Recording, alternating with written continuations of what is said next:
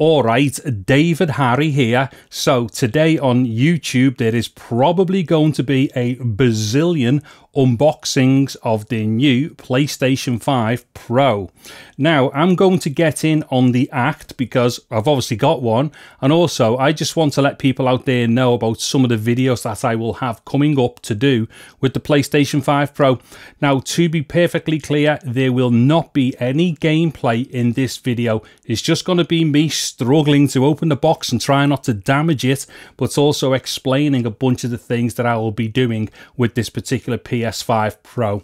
Okay, so the first thing that I'm going to do is to just kind of get the box in frame like this, just so that you can read what's on the box. So just pause the video and then continue at your own leisure after you've read any of the information that you may be interested in. Now, hopefully, I've got enough field of view within my frame here in order to get everything in on the box. Now, let me get round to this side here. Now, for anybody who is familiar with the original PS5 or the PS5 Slim, you're going to notice that there are some differences here within what's being said on the box. And there's obviously certain omissions as well that we originally had with the original PS5 and also the Slim. Now, one of those omissions is going to be 8K, which is something I will talk about shortly. But first of all, let me just make my first incisions here. Let me see if I can do this and get the outer box off without ripping it to bits. So give me a moment. Oh, this might get a bit tricky. Hold on. Let me try it this way. If I hold it. Actually, there's one thing that actually that I've just noticed.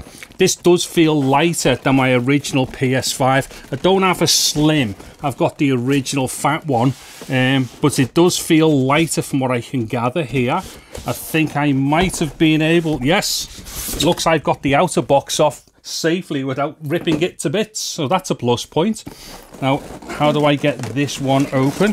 Okay, I think turn it around this way might be the way to go. Okay, so I think to pull this out.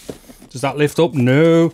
Let me just open this out. Okay, so the first thing that's popped out here are those little stands. Um, I think that's for if you want to mount it sideways and stuff, because of course, the PS5 Pro does not come with any stand and there's going to be a video that I'll have to do just to address some of the things to do with you know what's missing as it were with the PS5 Pro. I'm not going to get into all that now, but obviously you know, we've all got concerns that Sony have kind of like left stuff out on this, and considering its price, should they really have done that? That's something that I will get into in another video. Okay, so we've got a C2C cable there. Let me get that out the way. I've got a three pin, uh, or sorry, that that's our UK three pin power cable to a two pin to go into the PS5. So that's a UK one. Wherever you buy these around the world, your actual mains connection will be suitable for your area. So let me get that out the way. I've also got a U sorry a HDMI to HDMI cable here. Now I'm not entirely sure if this is 8K compatible because there is going to be some 8K stuff that I'm going to be testing again. Let me just I'll mention that in a second. I just want to get the bulk of this out the way with first. And here is the controller. So let's see yeah that's exactly the same as your standard PS5 controller. So let me just put that there. Now, how do I get at this bit? Okay. Right, there's a bunch of like paperwork and stuff. I think we can all get a, an idea of what that stuff is. There's no need to dwell on that. Now, okay, let me just slide this out. I'll just get this box on the floor. I'll get these side pieces off as well. Okay. Yeah, I think it does feel a bit lighter actually. Actually, now that I've got the box out the way, let me get into the center of the frame. Okay, so this does feel a bit lighter, I think. Um, was that just like some kind of placebo effect because it's the new thing? I don't know. Okay.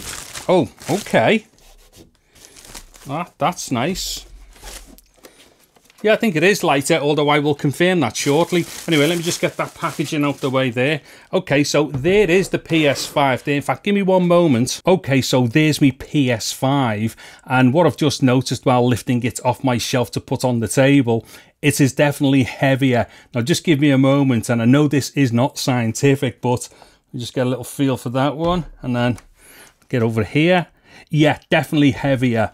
Now, I've got to imagine that part of that weight difference might be, or it definitely will be, to do with the fact that there's actually an optical drive, obviously, with this PS5. And if we have a look here, it is a little bit taller, but it is also a little bit fatter as well. So I think just in general, the bulk of the original PS5 is a bit bigger than the new PS5 Pro. And of course, the Pro does not have the optical disc drive in it either. Okay, so what I am going to do now is to go through some of the videos that will be coming up to do with the PS5 Pro, or more importantly, some of the first videos that I will do.